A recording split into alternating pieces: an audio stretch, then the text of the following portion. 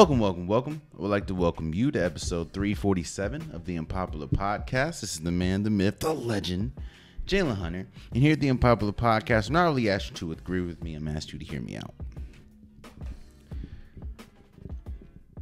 Legacy is is is a, a fragile thing sometimes.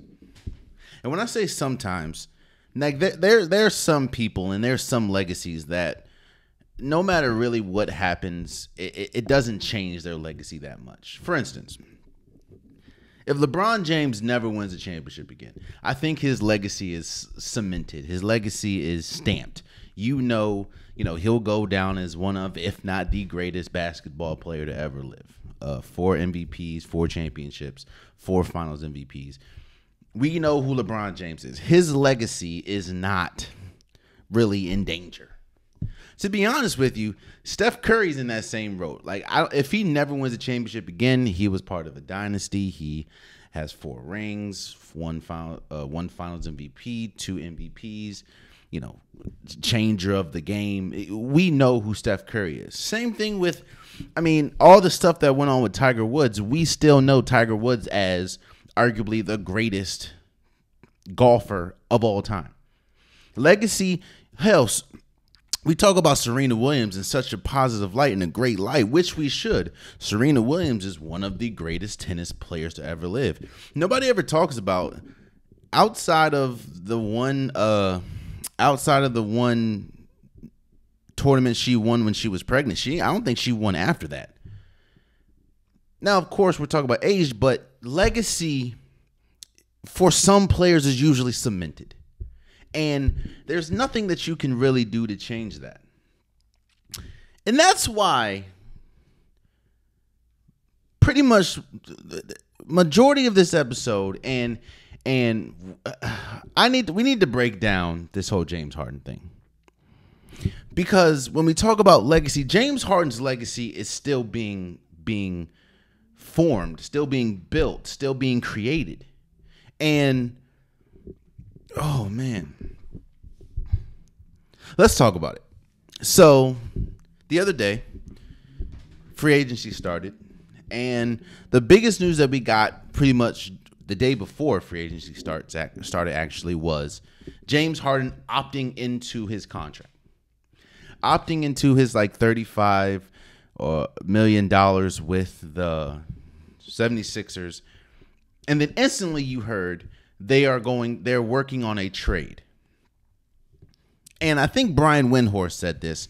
So shouts out to him. This is pretty much the NBA's equivalent of the transfer portal. So I will say James Harden was smart in that instance. You understand that if you were to opt into your contract, the team that you can work with the team in trading you instead and you have more options outside of you opting out, becoming a free agent, now your options are really limited because you're working with the teams that have salary cap and, and this, that, and the third. So now you can possibly go to a championship caliber team instead of if you were to opt out, you can only go to really a team that has the most cap space, like maybe the Houston Rockets, the Indiana Pacers, uh, maybe, I don't know, the San Antonio Spurs, something like that. So you pretty much essentially dictated how you are going to be handled which you know you have to give you have to give kudos. That that's smart. That's smart. That is that is smart. And that is yet another example of player empowerment. You know J- James Harden understands I have more control and I can kind of dictate more where I go if I were to opt into a contract outside of opt out of a contract. So let's talk about this whole situation and we, we have to talk about it from a few different standpoints. Let's first answer the question how did we get here? How did we get just two years ago, James Harden essentially demanding a trade out from Brooklyn to Philadelphia to play alongside James Harden? I mean, to play alongside Joel Embiid. How did we get here? Well, first and foremost, we got here because of un, unmet expectations. I talk about expectations a lot on this show. I talk about expectations a lot. Uh, when we talk about either unrealistic expectations that teams have, unrealistic or uh, exceeding expectations. Every team, every player should have an expectation of how their current situation or how their career should go, right? And when you pair James Harden, who we know the history of James Harden, we know the James Harden from uh, Houston. Hell, we even know to a lesser extent, of course, but the James Harden from Brooklyn. Brooklyn. When you pair James Harden with an MVP caliber at that point, an MVP caliber player in Joel Embiid, you expect at least to make it to the conference championship. At least. And that is the at and, and emphasis on the at least part. You expect such a high turn of investment or turn on investment when you trade a Ben Simmons, who, by the way, before the trade was an, a, a multiple time All Star.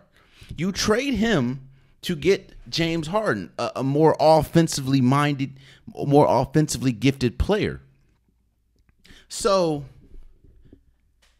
that's that's when when when you pair him up, then you see the emergence of Tyrese Maxey and how he's emerging as one of the best young guards in the league. The expectations are through the roof. You know, you expect to at least in in the the I cannot emphasize enough, at least make it to the conference championship.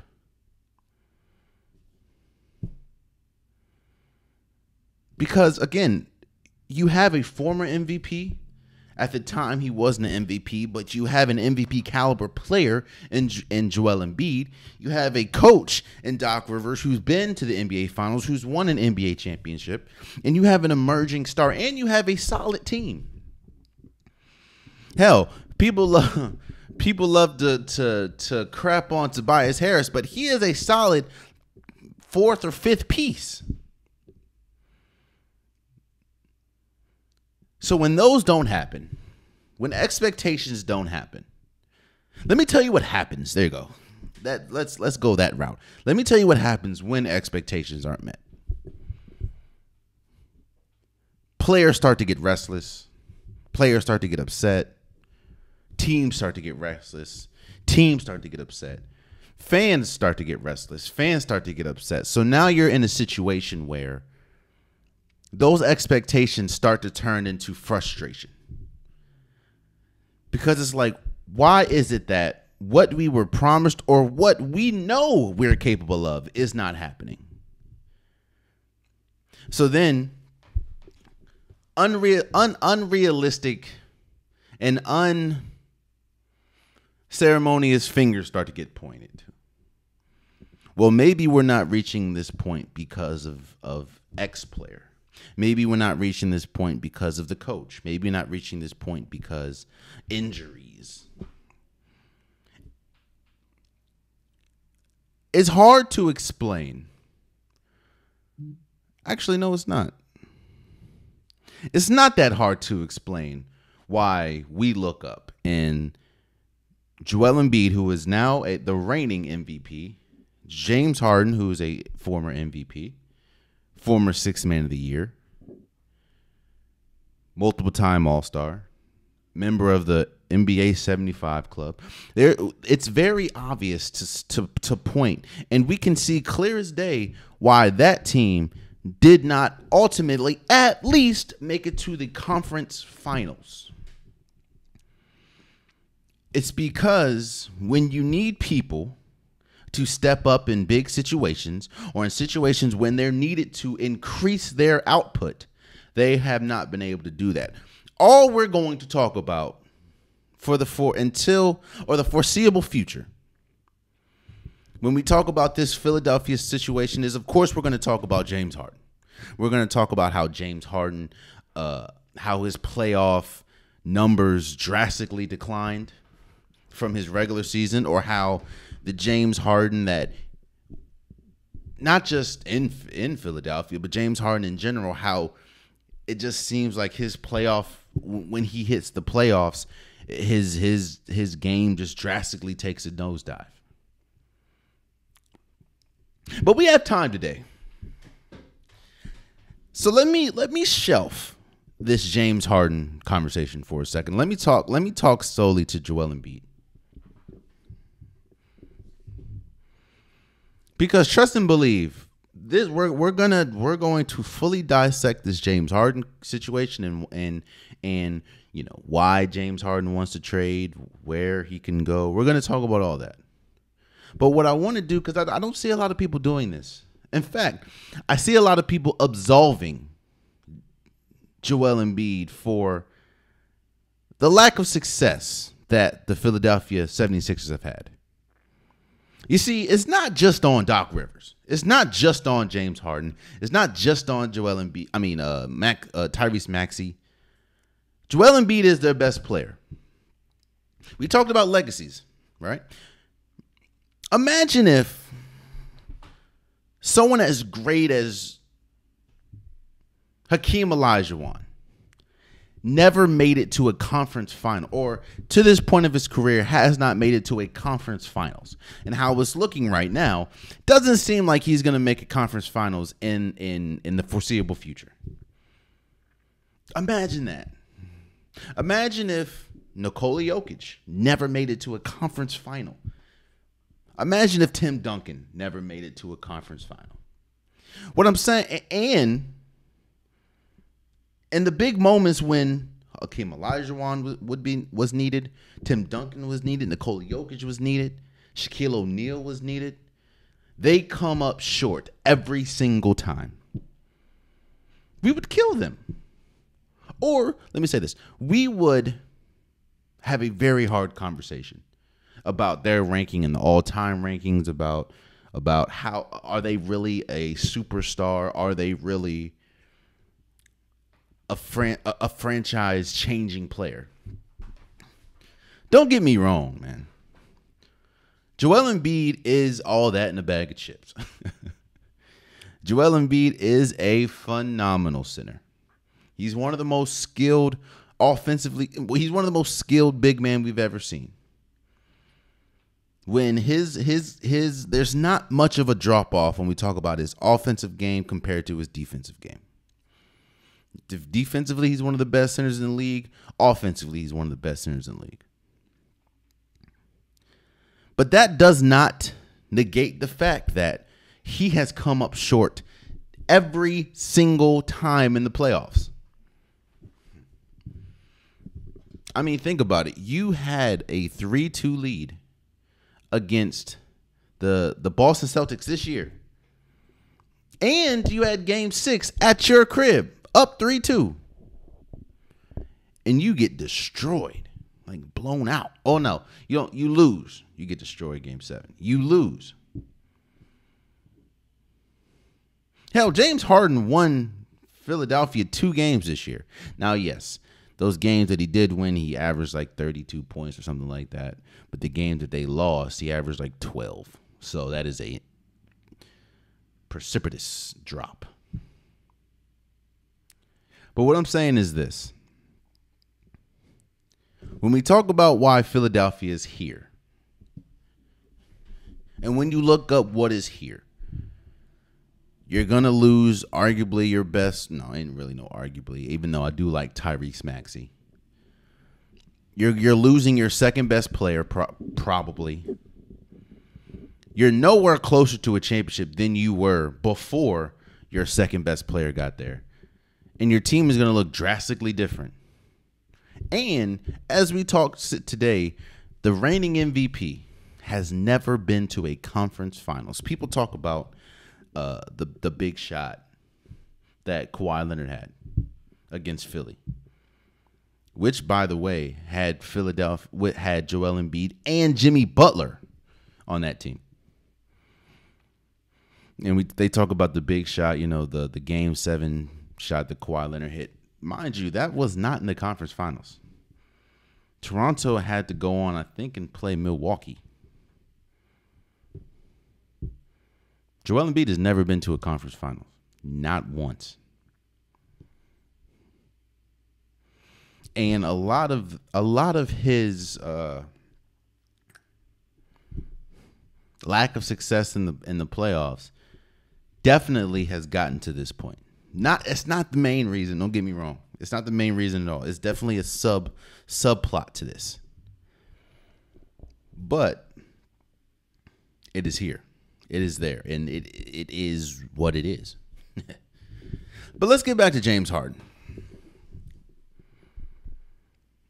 And as we just talked about Joel Embiid, James Harden has just as much to do with the lack of success or the lack of advancement in the playoffs that then you know the, the same amount of uh, I guess blame you can say that Joel Embiid has. I've said this time and time again. In fact, I said this when they got James Harden. You didn't they didn't bring in James Harden to lead the league in assist. Yes, they want James Harden to be an, a, a great assist man because I mean you're playing with arguably one of the best, if not the best center in the league at the time. But they didn't bring James Harden there to be an assist man. They brought James Harden to bring to to bring the scoring repertoire that he had in Houston. They want that they wanted that James Harden. That James Harden not only could have brought them to a conference championship, that James Harden possibly could have got them to an NBA Finals. I mean, think about it. The James Harden that we saw in Houston probably would have made it to NBA Finals if they did not run into the Dynasty Warriors, the Kevin Durant, Steph Curry Warriors. But that James Harden is far from gone the James Harden that Philly got was the inconsistent, timid at times, lost at times, sensational at times, downright frustrating James Harden. To the point where you look up this is to me that trade. When you look at the the aftermath of the James Harden Ben Simmons trade, this is the first lose lose trade I can um, remember in the NBA. Because when you look up, what did Philly really got get? They got to the same exact place that they had that they were that they were in when they had Ben Simmons. And the Nets Did nothing.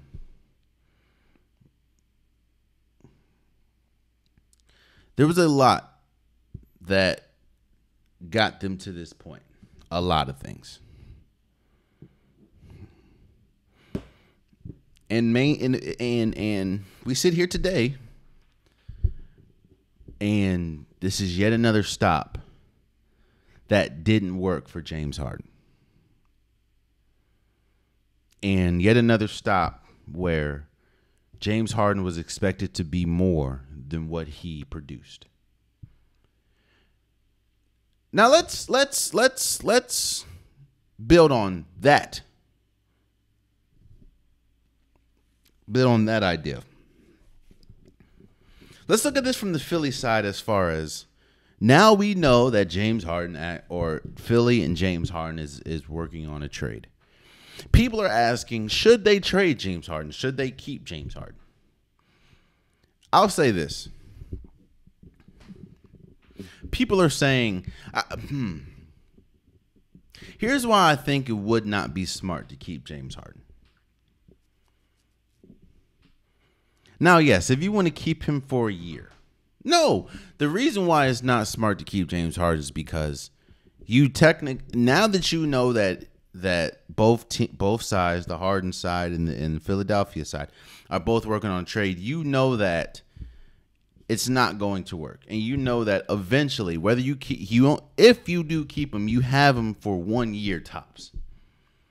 Which means that you try to get the most that you can, whether that's expiring contracts, whether that's draft picks. You try to get as much as you can get. Because if you play him this year,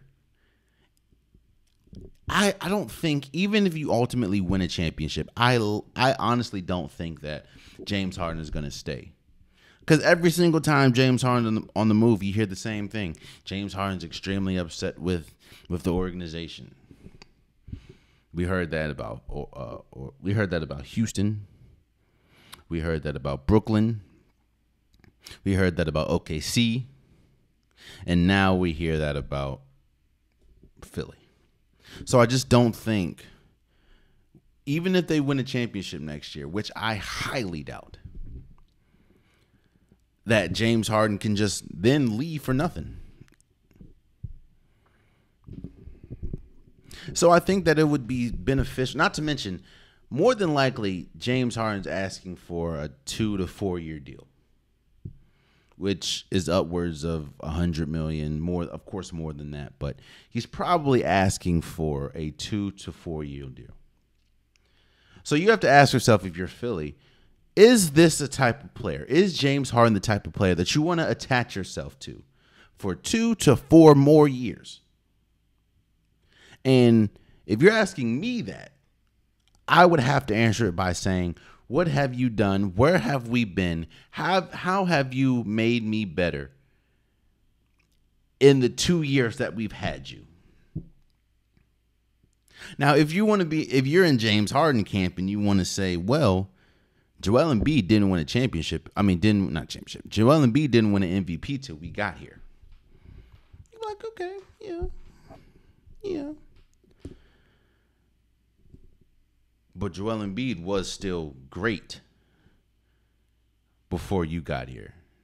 And honestly, Joel Embiid is in the same exact spot that he was in, or is the same exact player that he was before you got here. The only difference is he now has an MVP. But if you talk about team success, Philadelphia is nowhere closer to a championship than they were with Jimmy Butler, than they were with Ben Simmons. So I think, while yes, you hear the big name of James Harden, you think, damn, like I don't want to lose such a big name. But at the end of the day, to me, this is beneficial for Philly. Which is why I don't think you hear anybody like really lamenting the fact that they're more than likely going to lose James Harden. Now, what it's sounding like is the Clippers is a, is in the lead and a likely destination. The Clippers have a bunch of expiring contracts. I mean, you can get a Terance Mann, you can get a Robert Covington, you can probably get a, a, a big that's on the bench and a couple draft picks.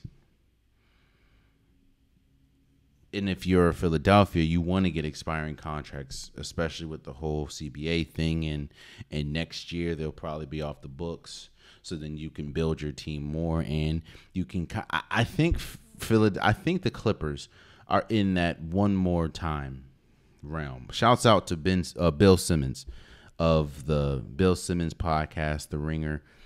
He had a segment with uh, Ryen Russillo and they were talking about one more time teams the teams that are looking at their or the organizations that are looking at their rosters and thinking we should run it back one more time and of course one of them uh, brought up the Clippers, and I I wholeheartedly agree. I think that the I don't know if the Clippers should be a one more time team, but I think that they're going to look at their roster and they're going to convince themselves, hey, if Kawhi Leonard and Paul George are healthy, we'll see we'll see what it looks like in the playoffs. Now, again, I think there's at some point there gets to a na- naive point or you know it's kind of it's kind of being fueled by naivety at that point because it's like when have they ever been healthy in the playoffs but i do think that the the the clippers are looking at themselves as a one more time team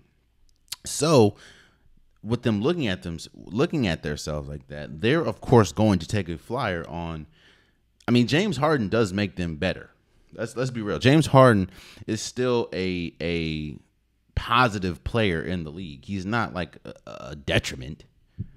Now, is he a player at this point of his career that if you when James Harden was on Houston, right?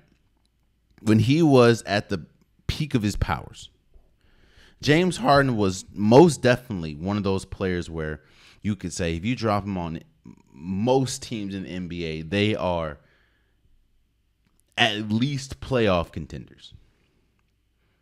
That's how good James Harden was. James Harden was in that realm where it doesn't matter what team you're on, you are a playoff caliber team. James Harden is not at that point in his career at this point. However, you match him with a Kawhi Leonard, with a Paul George, possibly with a Russell Westbrook, that definitely changes things. So I think that the Clippers are kind of in the lead as far as to get James Harden. I also would look at a team like Miami. I mean, we we understand that Miami is one of those teams that, or Miami last year in the NBA Finals, they didn't lose because of defense. They lost because they couldn't throw a rock in an ocean. They just could. There was multiple droughts or offensive scoring droughts, a multiple, and they just ran into a better team, which was the the Denver Nuggets. So I think if you're Philly, you have to be like, okay, you know, you you have to in the back of your mind, you're gonna be like, hey, this is this is this is beneficial for us. We weren't trying to pay him a three to four year deal. We James Harden hasn't shown that he can make a team considerably better. Because I mean, think about it. Philly had one of the better rosters in the league last year. In fact, every single year James Harden has been there, especially last year with PJ Tucker. And to only make it to the second round two straight years is crazy. So if you're James Harden, let's talk about the let's talk about James Harden's camp. And this is where that whole legacy thing comes in.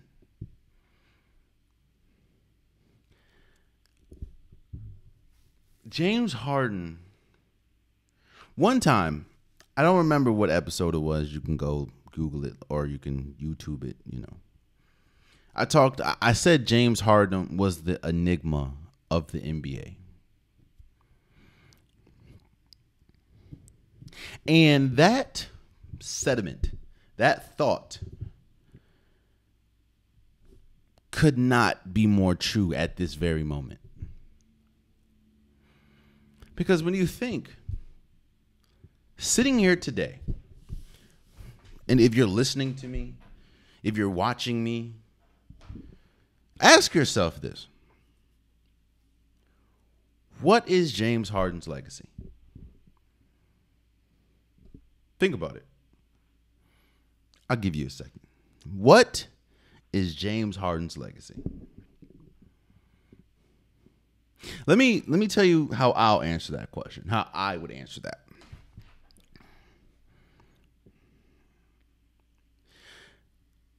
James Harden, at least at this moment of his career, because as we know, championships change a lot of things. Championships change the way that we view some players, rightfully so like a championship drastically changed how we looked at players like Dirk Nowitzki, players like Jason Kidd. Championships drastically changed the way we looked at players like, uh, I mean, at this point, Jamal Murray, Nikola Jokic. Championships drastically changed the way that we looked at players like Klay Thompson, Draymond Green. Imagine if Draymond Green didn't have a championship. He would be a. We would probably look at that man as a bigger, taller Patrick Beverley. Championships change the way that we look at players. So I said that to say, if James Harden ultimately wins a championship, I'm sure we will look at him differently, or we would describe him differently. And then, and and and on the contrary, or or pair, uh, on the opposite side, not winning a championship changes the way that we talk about people. And I've talked about this before, so this isn't new. Not winning a championship changed the way that we talked. think about that. Think about how we talked about Kevin Garnett before he won a championship and after. Think about how they talk about Allen Iverson. how they talk about Charles Barkley, how they talk about John Stockton, how they talk about Carmelo Anthony, how they talk about Vince Vince Carter, how they talk about Tracy McGrady, how they're talking about Damian Lillard right now. Championships and not winning a championship changes the way we talk about people. So I asked y'all, how would we describe, or how would you describe James Harden's legacy at this moment? Leave it in the comments. Uh, let's talk about it. But let me explain to you how I would answer that question. James Harden will go down as one of the greatest offensive weapons the league has ever seen. The way he's able to manipulate refs and and get to the line, his step back three is is pretty much patented at this time or at this moment. Uh, he's one of the greatest Houston Rockets players we've ever seen. Um, I mean, there's a reason why he landed on this All NBA 75 team, and and nobody really batted an eye. We understand how great, especially at the peak of his powers, James Harden is. But that's not where his legacy stops. James Harden's also a player that how great he was he never reached his maximum potential. Now, some of that is, of course, on James Harden because there was multiple times in the playoffs where he should have advanced further than he did. It was just because of him, not because of who he played. Because yes, there were times, of course, the Golden State Warriors and stuff, but there were multiple times where they should have advanced, and because he came up small, because he came up average, they didn't advance. For instance, a lot of people want to kill KD for losing the NBA Finals. I think it was in 2012, losing the NBA or 13, one two, losing the NBA Finals to uh, LeBron James and the Miami Heat. But nobody talks about just how bad James Harden was coming off the bench. and the fact of if James Harden would I think I think Kevin Durant averaged like 30 points in that play in that uh in the finals. But James Harden was god awful coming off the bench. You could talk about the flameouts against the early Golden State Warriors when the Houston Rockets had they didn't have KD yet. They had Dwight Howard. You can talk about how it didn't work with Dwight Howard. You can talk about how it didn't work with Chris Paul. You can talk about the flameout against the Spurs when I think they were out Kawhi Leonard and Tony Parker, I believe. And Tim Duncan, I think. And James Harden was terrible there was one game in Golden State. I think he had a triple double because he had, or no, I think he had like the most turnovers in playoff history for a game of like eight or nine himself, or maybe maybe it was more than that. We can talk about now. Yes, obviously it wasn't him mainly, but you can talk about Game Seven against Go the the Kevin Durant Golden State Warriors and how your team misses 27 straight threes. Or you can talk about the year the year after when Kevin Durant wasn't even there. He was hurt. And you couldn't seal the deal. Or we can talk about when the injury bug started to hit, especially when you got to Brooklyn. Oh no, no, no. Let's let's back up a little bit. We can talk about how you never or James Harden never really took his physique seriously and took his health seriously in the off season. I'm not going to talk about the extracurricular. That has nothing to do with this. Well, actually, it does, but I'm not going to talk about it. What I will say is, he. It seemed like he was more invested in the extracurricular activities than he was with refining his game and uh, getting his weight down, keeping his weight down, coming into training camp in shape instead of getting in shape during training camp. You could talk about that's when we can talk about the injuries started piling up the hamstring injury in Brooklyn. And I think only playing like 16 games with KD and, and Kyrie. And then of course you can talk about the flameouts and or the the demanded trade from Houston or the demanded trade from Brooklyn. Or now the more than likely trade from Philly. Like I said, if we want to talk about the complete legacy of James Harden, of course, you can talk about the scoring repertoire. You can talk about just where he lands on the greatest shooting guards of all time list. Is he top five? Is he not? I'll let you debate that. But you also have to talk about how he has been expected to be the missing piece for multiple teams. And by the end of his tenure on that team, they're still missing that piece.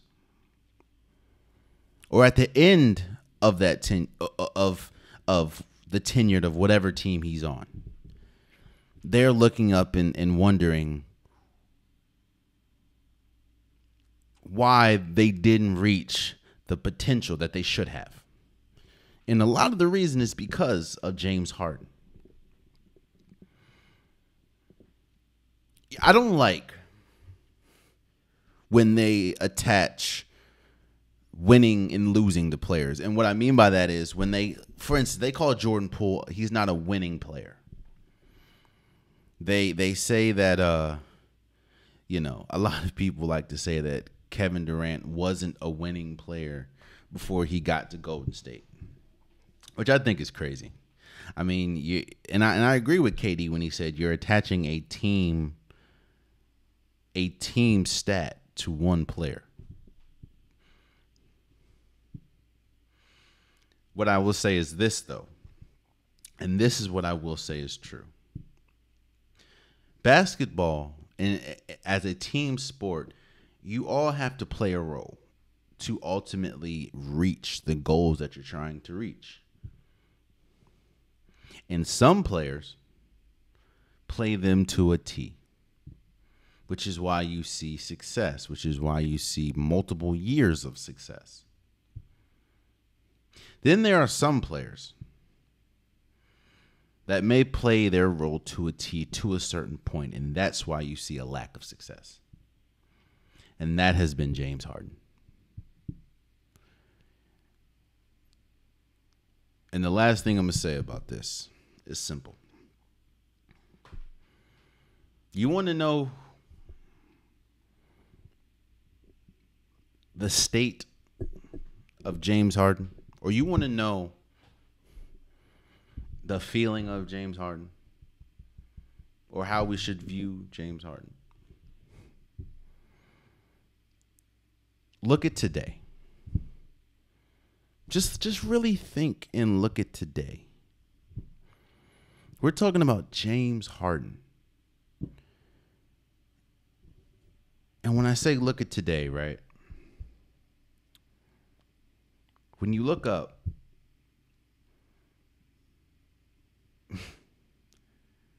both sides are happy. James Harden side and Philly side, both sides are happy because both sides are going to ultimately break up. That should tell you the status of James Harden. And you know what's also crazy? I think he's ultimately probably going to land in, in, in LA for the Clippers. I could be wrong, obviously, but I think a lot of signs are pointing to, especially when you see that the Clippers, in a surprising turn of events, uh, waived Eric Gordon to leave. You know, I think that he's going to end up a Clipper. And there's also reports saying that Russell Westbrook can also become a Clipper or go back to the Clippers, even if they get James Harden. And even with all that, you got to think to yourself. Listen to this. Listen to this lineup. Russell Westbrook at the one, James Harden at the two, Paul George at the three, Kawhi Leonard at the four, Zubac at the five. You hear that lineup and hear how incredible that line uh, just namesake how incredible that lineup is. How much you want to bet? They probably won't be favored to win the championship next year. I'm not saying that's because of James Harden, but James Harden obviously ain't helping.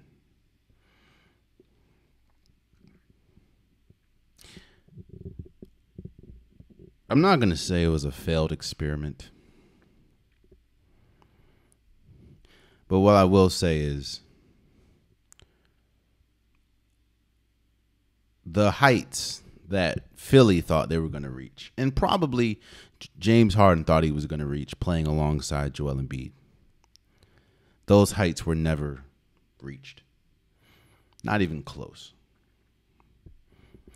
And now, as we sit here today, we wait to see what the future holds for James Harden and for Philly.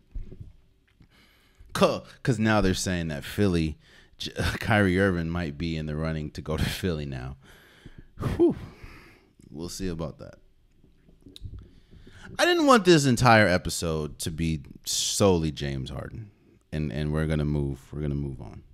I want to talk a little bit about the WNBA, seeing as though I haven't really talked about the WNBA at all this year outside of the beginning of the season, and how we're truly watching an historic season for the WNBA.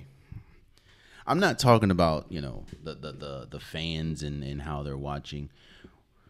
What I'm talking about is we are seeing the talent level.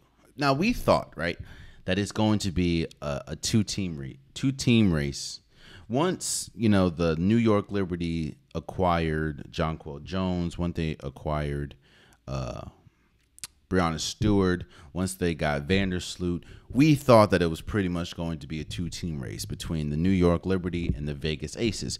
The Vegas Aces, who just come came off a championship, they also had uh, acquired um, Candace Parker from the Sky.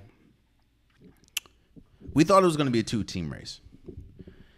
And what we've seen is just the sheer talent level and the WNBA is shining. Cause you see Connecticut, uh, Thompson, or Thomas, I'm sorry. She she became or she has now the record for most triple doubles in WNBA history. DeWanna Bonner, she was she's dropping 40 point games. Of course, you have the Washington Mystics now. Shakira Austin, she is out for a couple weeks with I think a, a hip injury, but you still have Elena Delle Donne. You have um, just just uh, uh, Natasha Cloud. Even even the bad teams. I mean, yes, the Seattle Storm are four and eleven but every single night I hear about Jewell Lloyd going crazy. Jewell Lloyd is pretty much the the the WNBA version of Kyrie talking about on the court. I mean, just the other night she went up against uh, the Minnesota Lynx and dropped 41. Another night, I think she had 40. I don't remember who it was against, but she had 40 the other, uh, another night. or 38 or something like that.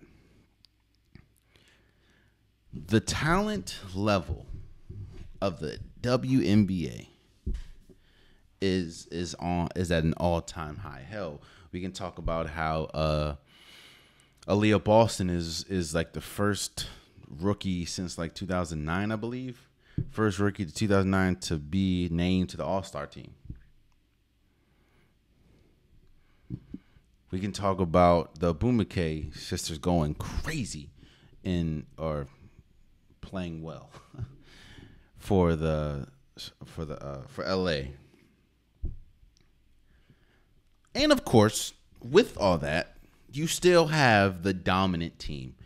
Uh, the as we sit today, the Vegas Aces are the first, the third team in WNBA history. I know the Sparks did it and the Comets did it back in the day.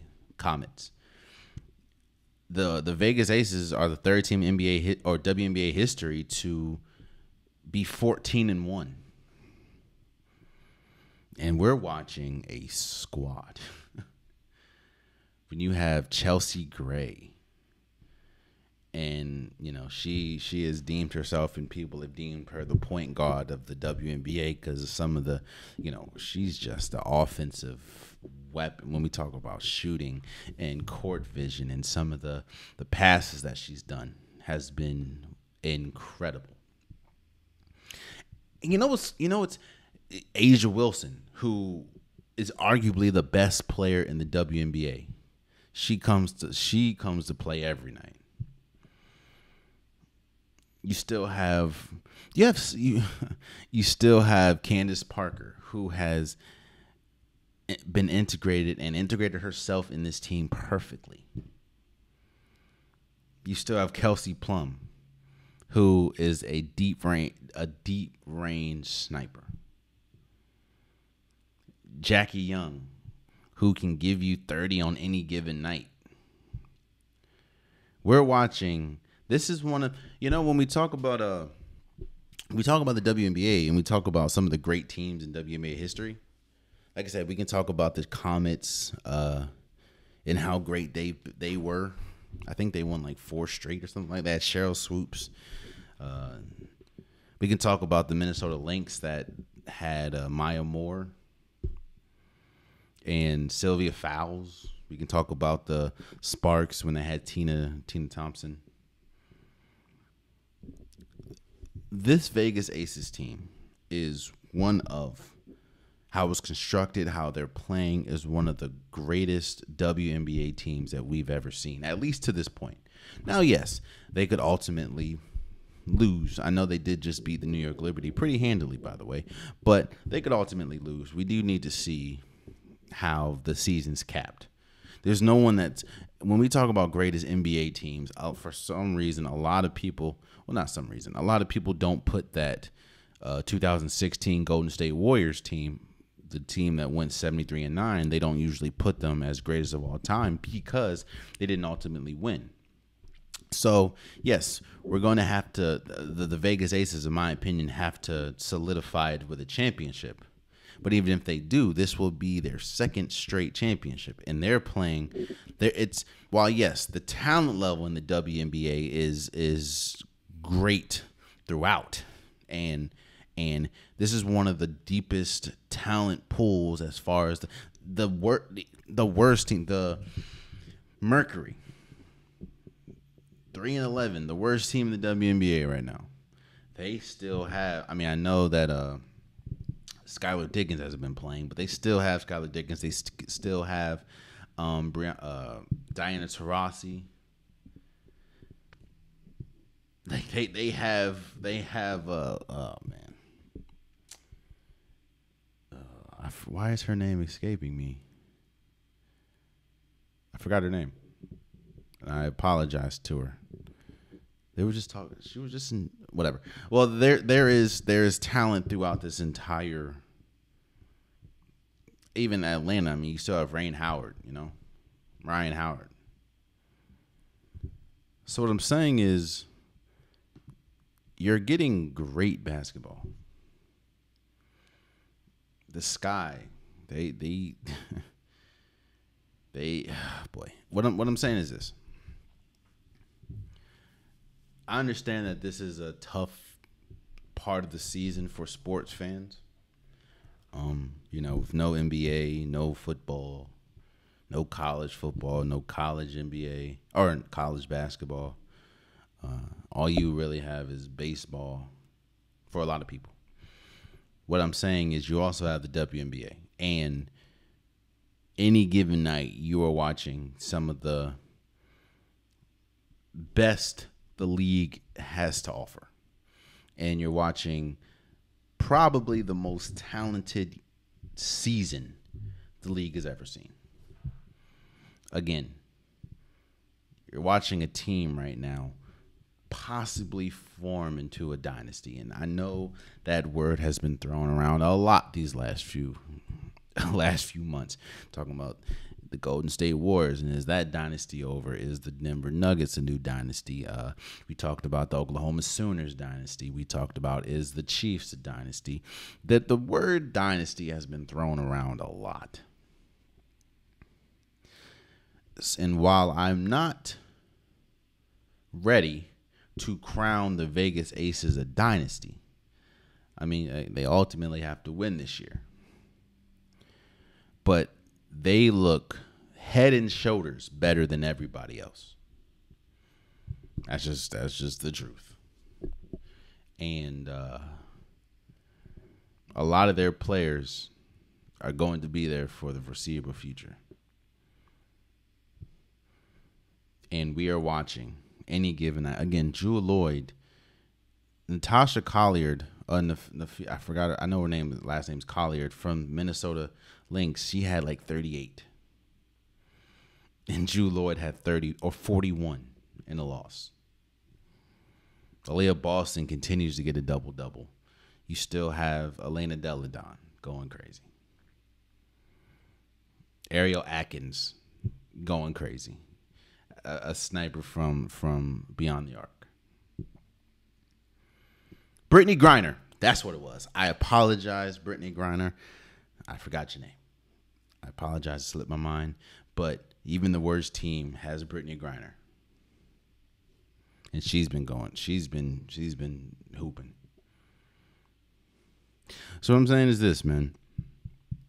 Go watch if if you just need that basketball fix, or not even just that. If you want to watch good basketball, you know what I'm saying? If you want to if you want to uh, watch some of the most talented people play the sport of basketball, on any given night there is a WNBA game. And if you don't think if you think I'm capping, if you think I'm bull, I'm BSing, there is a team currently that is 14 and 1 and beating people pretty handily too. And the second best team that we thought was going to be the second best team is currently ranked third. A team that has Breanna Stewart and Jonquel Jones, Sabrina Ionescu, uh, Vandersloot is ranked third. That should tell you all you need to know. And there you have it, man. Today was a quick one. Today was a quick one. Uh, wasn't much to talk about. but there you have it. That has been today's episode of the Unpopular Podcast. I truly appreciate you guys. Um, if you want a popular podcast shirt, hoodie, sweater, long sleeve joggers, the link is in the description below. I have multiple different colors, multiple different designs. Get your unpopular podcast merch today. Also, please subscribe to the YouTube channel. Please subscribe to wherever you're listening. Please subscribe to wherever you're watching. Again, I am tr- my, my goal is to get to a thousand subscribers by my birthday. I am at 860. I completely appreciate everyone that's already s- subscribed and um everyone that is going to subscribe. Definitely appreciate you coming along for the ride. Uh, definitely means a lot, man. Definitely means a lot and uh, also subscribe to the socials. You know the the Instagram, the twi- TikTok. Again, almost daily I drop content, and uh, yeah, man, uh, definitely I definitely appreciate all you guys. And until next time, much love.